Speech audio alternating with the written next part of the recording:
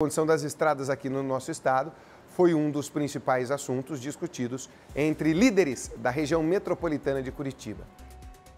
Falta de rodovias de qualidade. Isso pode impactar no desenvolvimento dessas cidades. E esse é um tema de muita discussão na região metropolitana. Dá uma olhada.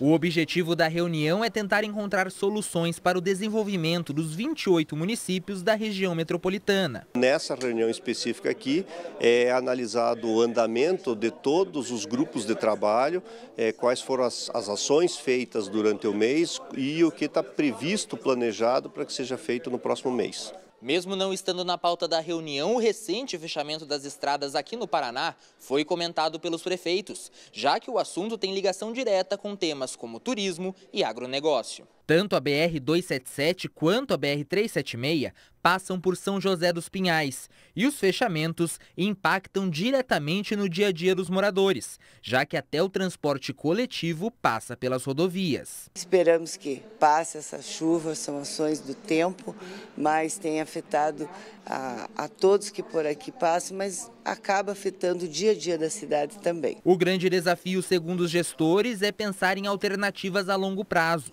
com isso, seria possível garantir a segurança de motoristas e passageiros em qualquer época do ano. Essas causas da natureza se tornarão mais constantes no futuro. Então, a minha fala é no sentido de que possamos ir pensando em alternativas a longo prazo, né, porque isso depende de projeto, depende de estudo, depende de viabilizar recursos no futuro, para que a população sofra menos lá né, no futuro com ações dessa natureza que são imprevisíveis, pensar principalmente, né, gente, nessa região metropolitana na questão de saúde, infraestrutura, transporte, segurança. Para que, que existe região metropolitana? Para que as soluções sejam pensadas, porque uma grande cidade, as outras em volta dela, tem a dependência dessa grande cidade, que no caso é Curitiba, e as outras dependem da capital, os 38 municípios. Por isso você cria a região metropolitana, para ter soluções conjuntas. É necessário que as soluções elas sejam pensadas de forma única, para a região metropolitana. E é isso que tem que ser feito imediatamente né, em muitas questões.